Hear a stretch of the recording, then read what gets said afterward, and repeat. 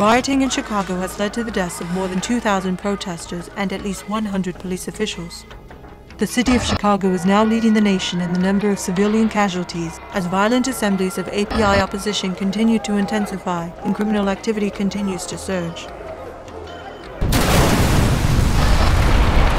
Though the American Peace Initiative is set to broadcast in less than two weeks, there has been no indication that the chaos will subside.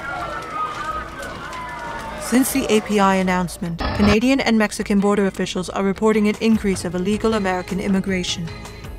In order to combat this increase, Canadian and Mexican border officials are implementing lethal methods of defense. The United States President continues to defend the API as a necessary maneuver to protect the nation from further acts of domestic terrorism, expressing the following words yesterday in his emergency State of the Union address. Rehabilitation is inevitable. For as it stands, we are witnessing the last days of American crime.